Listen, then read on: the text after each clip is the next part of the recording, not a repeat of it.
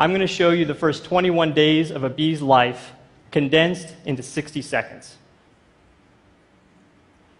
This is a bee egg as it hatches into a larva.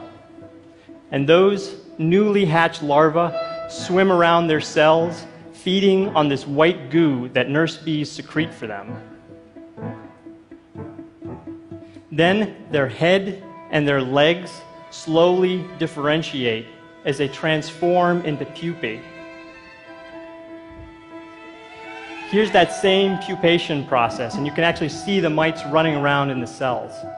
Then the tissue in their body reorganizes, and the pigment slowly develops in their eyes.